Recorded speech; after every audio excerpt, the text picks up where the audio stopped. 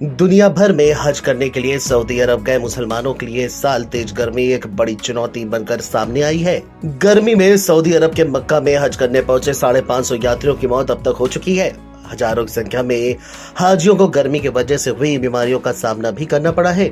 Saudi अरब में पड़ रही गर्मी ने तमाम इंतज़ाम के बावजूद पिछले साल भी 240 हज यात्रियों की जान ले ली थी। इस साल ये संख्या और ज़्यादा हो गई है। इस साल हुई मौतों में 223 नागरिक मिस्र और 60 जॉर्डन के हैं। इसके अलावा ईरान, इंडोनेशिया और सेनेगल के तीर्थ यात्रियों की भी मौतें हुई हैं। सऊदी में जिस तरह से तापमान में वृद्धि हो रही है, उसे देखते हुए यह कहा जा रहा है कि आने वाले सालों में हज यात्रा बेहद मुश्किल हो साबित हो जाएगी। इंडियन एक्सप्रेस की एक रिपोर्ट की माने तो सऊदी स्टेट टीवी ने बताया है कि सोमवार को मक्का में ग्रैंड मस्जिद की शेड में तापमान इक्यावन दशमलव आठ डिग्री सेल्सियस दर्ज किया गया है। भीषण गर्मी में हाजियों को खुद को स्वस्थ रखना चुनौती बना हुआ है। ये चुनौती आने वाले सालों में और भी ज़्यादा बढ़ सकती है। Journal of Travel and Medicine के 2024 की एक रिसर्च के अनुसार गर्मी से निपटने की जो रणनीति दुनिया भर में बन रही है, बढ़ता वैश्विक तापमान उन रणनीतियों से आगे निकल सकता है और इसका सीधा असर सऊदी जैसे गर्म देश पर होगा।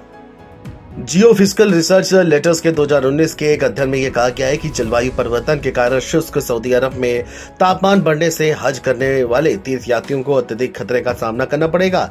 इस साल जिस तरह से अत्यधिक गर्मी के कारण मौतें हुई हैं, उस और सऊदी अस्पतालों में भीड़ बढ़ी है, उसे देखते हुए ये दावा अभी एक्सपर्ट कर रहे हैं कि कम से कम बुज़ुर्गों के लिए आने वाले सालों में हज करना पूरी तरह से नामुमकिन हो जाएगा। हज का इस्लाम धर्म में बेहद महत्व है। हर साल लाखों मुसलमान धार्मिक अनुष्ठान करने के लिए मक्का जाते हैं। इस साल गर्मी ने तीर्थ यात्रियों के लिए मुश्किल बढ़ा दी है। पचास को छू रहा तापमान खास तौर से बुज़ुर्गों के लिए मुश्किल पैदा कर रहा है। सऊदी अफसरों ने सभी हाजियों को छाते इस्तेमाल करने की सलाह दी है। इसके अलावा उन्हें लगातार पानी पीने और धूप से बचने के लिए कहा जा रहा है। इन सब के बावजूद भी बड़ी संख्या में हाजी, हज की रस्मों के दौरान बीमार पड़ रहे हैं। हज के रास्ते पर इस साल लगातार एंबुलेंस का जमावड़ा देखा जा रहा है और अस्पतालों में इमरजेंसी जैसी स्थिति है। वही गर्मी के चलते हुई मौतों में बड़ी संख्या अपंजीकृत तीर्थ यात्रियों की है।